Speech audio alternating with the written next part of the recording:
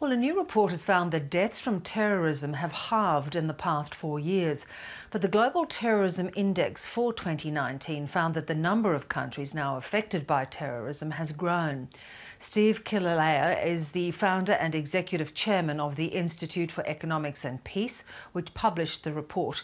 He says the significant fall in terror related deaths can be attributed to successful military actions against major terrorist organisations. Are two reasons which have driven it, and both of them they involve Boko Haram and ISIL and military interventions against both.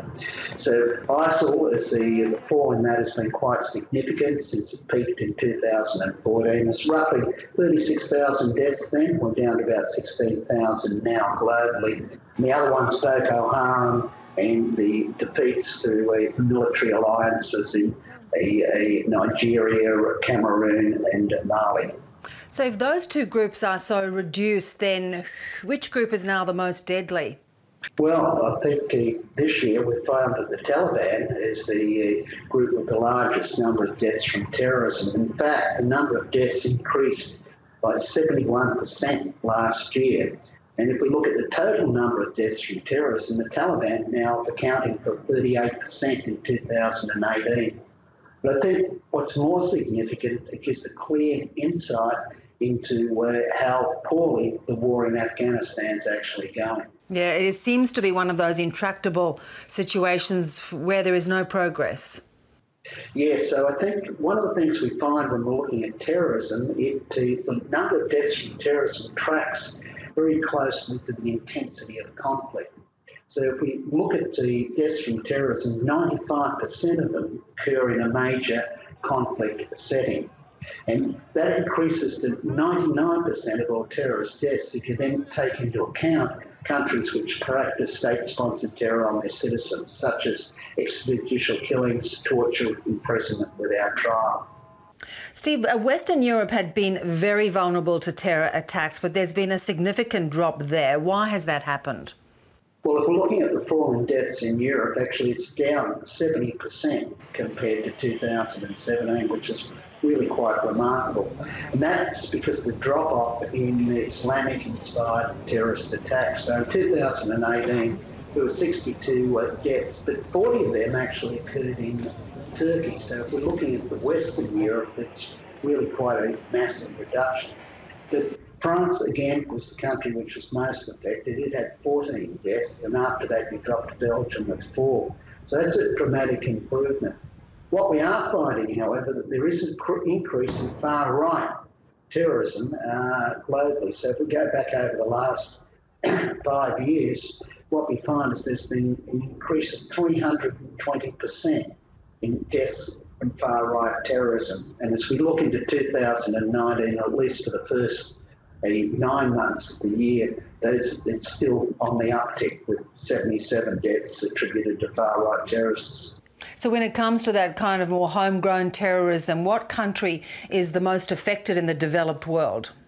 Uh, obviously, Afghanistan is the country which has got the, is the worst affected. That's followed by Iraq. Uh, then you come down to Nigeria, Syria, and Pakistan. So they're the five countries with the highest death toll from terrorism. It would indicate that there still needs to be a fair bit of vigilance around the world. Yeah, I think one of the more startling statistics from this year, although we've seen these tremendous drops in the number of deaths from terrorism. So the intensity is down, and that's because of the decrease in the intensity of conflicts. But the breadth of terrorism is still wide. So 71 countries last year suffered at least one death from terrorism. That's four more than the prior year, and it's up nearly an all-time, all-time high. So I think terrorism is still globally is a real threat and affecting many, many countries. So we looked at the number of countries which didn't have a terrorist incident in the last five years. Of the 163 countries we cover, it's only 26. So terrorism is still a broad-based issue for a uh, global for the world.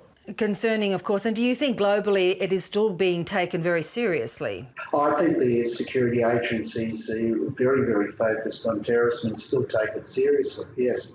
Most definitely. I don't see there's a well, you're seeing some of the terrorism levels drop. It's been dropped just recently in the UK, which is good news. But I think the security apparatuses are still very vigilant in taking terrorism seriously. Your research shows it does come at great economic cost. Uh, yes, our calculations is $33 billion. So ter- the terrorism cost the global economy in 2018. But what I would state is they're very, very conservative uh, estimates. Uh, so what we take into account for that is some of the property damage caused by explosions and bombs and such.